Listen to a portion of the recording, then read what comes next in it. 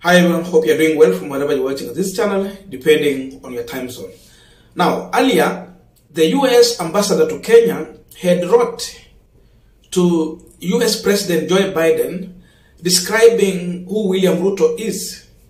And in her own words, he described William Ruto as a nice guy, a man who is hands-on, trustworthy, and working for the middle class and the poor. Of course, what the Democrat stands for in US. That was the description of William Ruto according to the US ambassador. But, but the developing report from the United Nations boss should worry one William Samoei Ruto and his government. And according to the UN Deputy SG, in her own words, this is how she's describing William Ruto. Ruthless and untrustworthy. These are the words from the United Nations Deputy Secretary General, Amina Jane Mohammed.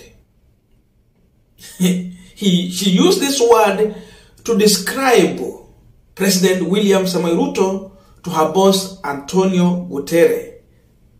That is Secretary General of the United Nations. Now,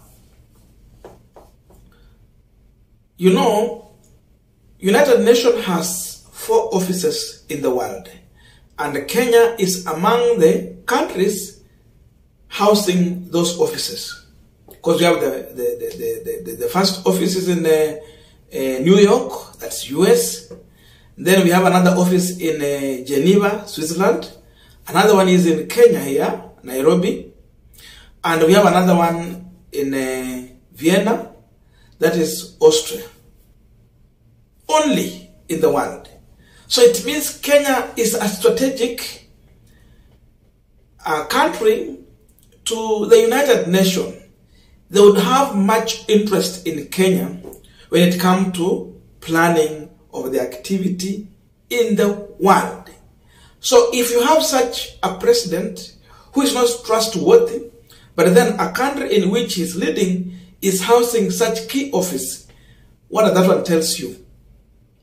There is a lot for William Ruto to worry about. If he thought everything is good for him, then he must prepare for a checkmate, and if possible, even things can just get worse for him. There are so many ways in which Ruto has proved to be untrustworthy, and indeed he has shown that he is ruthless. But before we go deep into that, just a quick request for those who are watching and you're not subscribed, please consider subscribing to our channel subscribers. Must say thank you so much. And again, to all our viewers, please give this video a thumbs up. Thank you so much, and back to this discussion. Now, one of the key uh, duties of the United Nations is to maintain peace and security globally. International peace and security.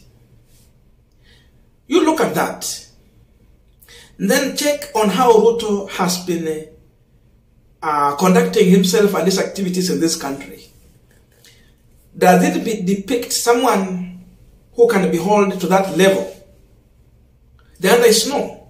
Look on how this government went further to use goons to invade a land belonging to Uhuru Kenyatta. A man who is still so much powerful, a man who just left government the other day, a man who still has insiders in the government. But Ruto allowed invaders to go to his land. How do you maintain peace in that level? Because this is a man who can just use his insiders to wage a war against you. And if you're not careful, you can be overturned. That tells you that Ruto is a problem when it comes to the matters of peace and security. In six months' time, he has proved that he cannot be trusted with the matters to do with the security. Instead, what he has proved to do is to wage war. So these are some of the reasons why the UN boss is feeling that Ruto is not trustworthy on matters of security. That means even he can go to an extent of colliding with the enemy for personal gain. And uh, to do with the, you know, he get his own uh, what we can refer to as collaboration with the enemy and leaking out some of the classified information. You can see Kenya has been used to sort out some of the problem within here. You go to Ethiopia, you go to Sudan, and elsewhere. So we play a key role as a country. Our army officers have been dispatched outside in AMISOM. They are doing their work there. But then you have a president who is more focused on revenging. When you become, you become so much revengeful, it means you are ruthless. If Uhuru did not agree with you, he did not support you, why would you revenge on him? He did not believe in you. Look on how Raila Odinga property in Spectra, East Africa, was attacked by goons. As we're talking, as we're talking now, now it has become a trend that those squatters and even some people who pretend to be squatters are invading other people's properties. I'm telling you, even these white people, they have huge tracts of land in this country. And they are seeing what is happening to Uhuru, soon it will be happening to them. That is also one of the reasons that will make them not to be comfortable with someone like William Samoei Ruto. So, he cannot be trusted in this level. I mean, another function of the United Nations is to uh, investigate dispute or a situation that might lead to international friction. So, when they are conducting such an investigation and you have someone like William Samoei Ruto, they say they don't trust him. Check on how he campaign and how he comes out to, to deal with the issue of being held responsible to what he promised even during the campaign. He lied to people. So it means even whenever he will get, and the way he has conducted himself, and the people around him, people whom he is consulting, there are people of questionable character. There are people that the United Nations has been questioning. They don't trust them. Those have become the advisors to William Samoei Ruto. People that we will not mention here. So it means Ruto cannot be trusted because now he's collaborating with some individuals whose UN has already flagged.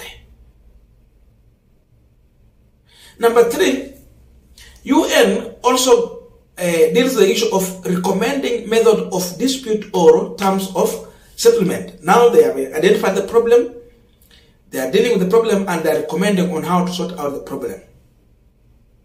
Can people negotiate? If not negotiating, then can we just decide to declare war or whichever method we want to use to sort out the problem? They does it.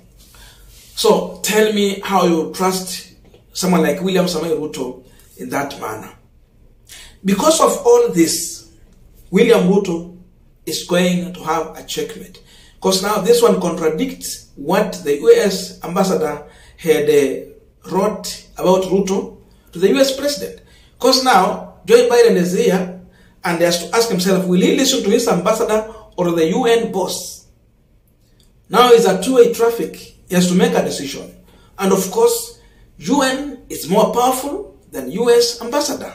So he might end up going with the UN report. Because now that one goes deeper into investigating. They have been checking on William Ruto character from the time he took over power and how he behaves.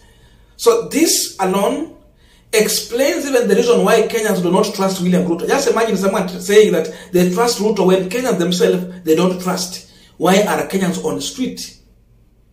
It's one of the reasons they don't trust Ruto and how he has been dealing with the issue of um, making basic commodities available to Kenyans. Yeye ni mtu wa bottom up ya wapi? Middle class iko wapi hapo? The poor wako wapi hapo? So all this has contradicted the earlier report. And from here, Ruto is going to be watched carefully and closely. And of course, we will need a strong checkmate. That checkmate, it will be none other than Raila Amolo Odinga. He should prepare. Even mass action can just lead to his uh, removal from office. It can happen.